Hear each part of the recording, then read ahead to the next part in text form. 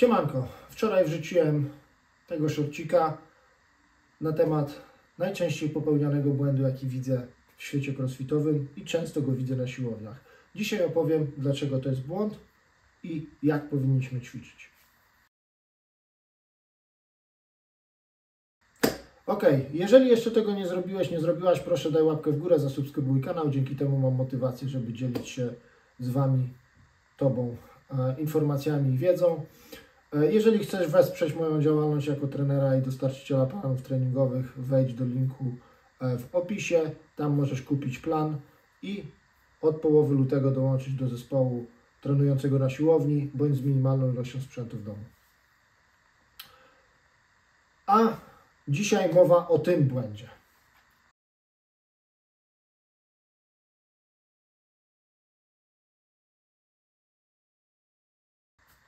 Niestety, mm, jako osoba, która była certyfikowana przez CrossFit, ja byłem jednym z pierwszych e, posiadaczy CrossFit Level 1 w Polsce, e, uważam CrossFit za bardzo fajny system e, treningowy do utrzymania sprawności fizycznej, aczkolwiek ma swoje wady jedną z tych wad właśnie widzieliście.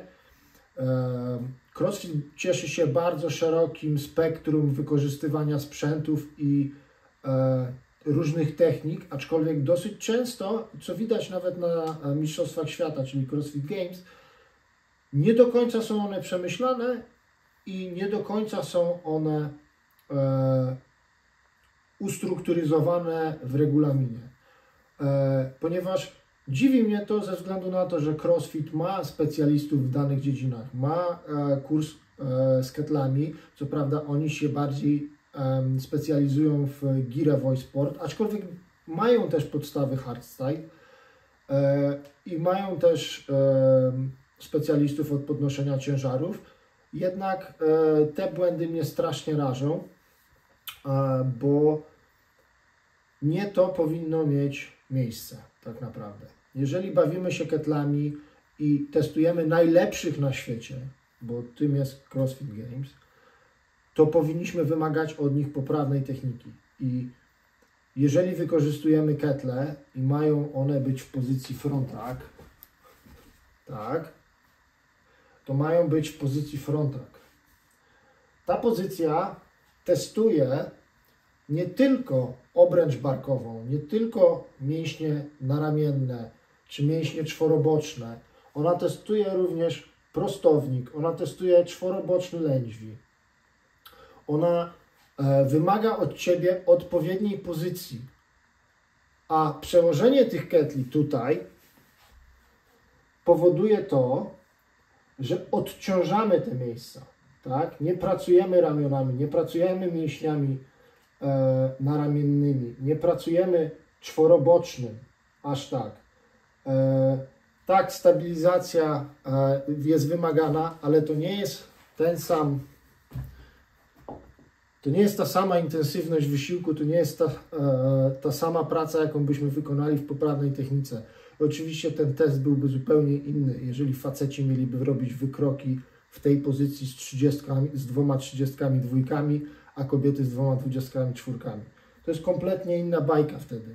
Sprawdzam, czy nie mam brudny, brudnego t-shirta. E, dlatego uważam, że uważam, że powodem tego jest niesprecyzowanie standardów.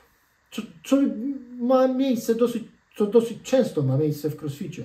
Może ze względu na to, że jest takie duże spektrum e, ilości ćwiczeń i próby testowania zawodników, że nie do końca przykłada się do tego wagę, no jak na przykład zmiany w regulaminie w trakcie trwania zawodów. Co miało miejsce w jednych e, eventach e, Games w CrossFit Open, gdzie e, był AMRAP i Max Clean and Jerk, czy Max Clean. I trzeba w trakcie, nie, nie było definicji, ile powtórzeń trzeba zrobić, aby móc podejść do clean and jerk, czy clean. A w trakcie trwania e, tygodnia CrossFit Games Dave Castro stwierdził, że trzeba to zmienić. No ale mniejsza o to. Nie, nie chodzi mi o, o to, jak tworzą standardy, ale chodzi mi o to przede wszystkim, żeby wykonywać poprawnie to ćwiczenie. e, ponieważ ono ma bardzo wiele benefitów. Generalnie wzmacnia całą górę e, Twojego ciała.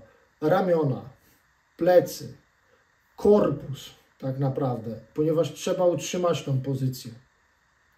E, jest mega wymagająca. Dosyć często w moich planach możecie znaleźć noszenie ketli w tej pozycji. Jedno, w jednej ręce, w obu rękach. E, jeżeli chcesz przeskalować to ćwiczenie, nie jesteś w stanie nosić dwóch ketli, zawsze możesz ćwiczyć, e, tak jak pokazywałem w, tym, w tej krótkiej propozycji treningu góry ciała, w pozycji goblet możesz nosić te ketle. Świetna sprawa wykonujmy te ćwiczenia poprawnie. Starajmy się wykonywać te ćwiczenia poprawnie. Nie idźmy na łatwiznę. Oczywiście przeniesienie tych ketli tutaj jest ułatwieniem sobie zadania. I ja doskonale rozumiem, że jeżeli e, pracujesz w granicach e, regulaminu zawodów i ten regulamin zawodów nie wymaga od Ciebie tego, żeby mieć poprawną technikę, a powinien, to wykorzystujesz to na swoją korzyść. Jasna sprawa. Aczkolwiek ty, jako osoba trenująca na siłowni, e, robiąca to dla siebie, powinieneś wykonywać tę technikę poprawnie.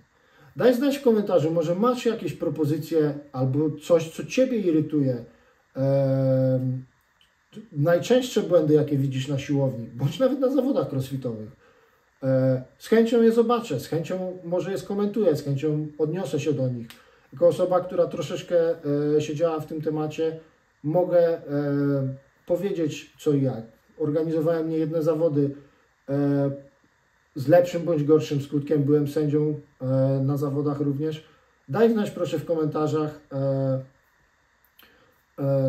co Cię irytuje, co chciałbyś, żeby zostało zmienione, albo jakie błędy najczęściej widzisz. E, to by było w sumie na tyle. Troszeczkę pojechałem po, po zawodach crossfitowych, aczkolwiek no niestety e, należy im się, e, ponieważ nie strukturyzują dobrze kryteriów wykonywania ćwiczeń i to jest powodem tego, co widzimy tutaj. Pomimo tego, że są to osoby jedne z najsprawniejszych na świecie, dlatego dzięki wielkie za oglądanie i to by było na tyle.